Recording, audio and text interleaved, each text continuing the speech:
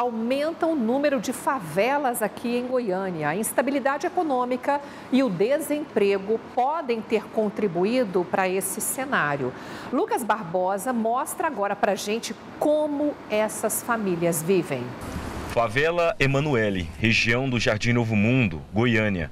Só aqui vivem mais de 500 famílias que não têm acesso ao saneamento mínimo. Muitas apelam pelos improvisos para ter acesso a uma estrutura precária de energia elétrica, água e esgoto. Essa vem sendo a realidade da Josi há mais de oito anos. Praticamente tudo é improvisado, não tem nada. A energia no dia que Deus proverá, vem, no dia que não quer, vai embora. A gente passa aqui no tempão também sem energia. Aí um corre para um lado, outro corre para outro, até que arruma um pouquinho uma gambiarrinha, mas é fraca. Ó, isso aqui tudo é queimado, nem presta. Porque a energia não puxa. A energia não puxa nem uma máquina de costurar. A falta de infraestrutura também penaliza a vida do Valquíades. Ele está desempregado há seis meses e não teve opção ao escolher onde morar. Se hoje mesmo, se eu tivesse de aluguel, eu acho que eu estava morando debaixo da ponte, porque eu tô em, no momento eu estou inteiro desempregado. Aí eu não tenho nem como fazer nada, não. Só aqui em Goiânia existem pelo menos 50 favelas, como é o caso da ocupação Emanuele. Mas nos últimos 10 anos houve um crescimento de 9,84% dessa população.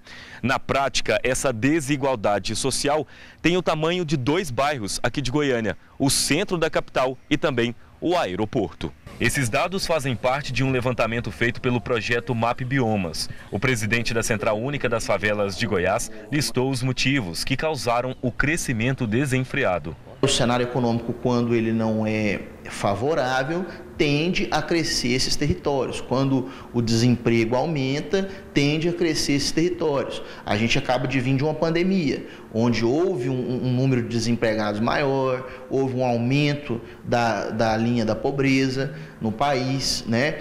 E houve uma, uma mudança de classes sociais, infelizmente, para baixo. E para reduzir esse crescimento das favelas, o presidente diz ser necessário o investimento em políticas públicas econômicas e de habitação, além do fomento ao empreendedorismo. São pessoas que elas, elas todo dia precisam correr atrás de algo para garantir o seu pão do dia seguinte ou às vezes do mesmo dia.